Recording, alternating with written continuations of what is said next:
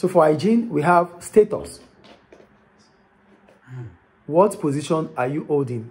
What respect does this job give to you? Do you get the point there? What what what level is this job placing you? What level are you in the society with this kind of job, with this kind of company? Ah, okay. That's status. The second one is security. Are you able to keep your job? Is this job, does this job or does this business has a future? Yes. That's security. Work conditions. Are you is is the environment conducive for you or not? Yeah. These are things that comes from the company, Yeah, not from the. not from the individual. That's why we call it hygiene. If they are not there, workers are not going to be motivated, according to Herzberg. Company policies and administration. So there are policies, there are procedures. Yeah. the laws of the company, how are they being carried out? That can also motivate or demotivate workers. Yes. Let me quickly set an example. Like, uh, I don't want to say. Let me just forget about the example. I will say it after this class.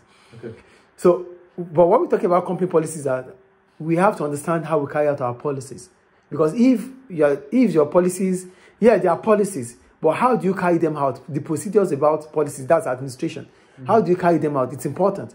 Because if they're not carried out the right way, workers might be demotivated. Yes. You get it? Relationship with supervisor. What kind of relationship do you have with your supervisor? Are your supervisors those that are motivators? They are, are they always encouraging you? Are they supporting you or not?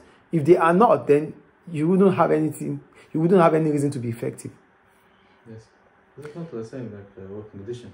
No. Working conditions are conducive environment. The place, how it is like when you are working. Ah, okay. Supervisor is the relationship you have with your direct boss. Your direct boss. How is your relationship? Yeah. Now, relationship with your subord- with subordinates.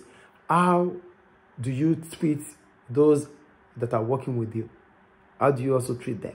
It's also important. Yes.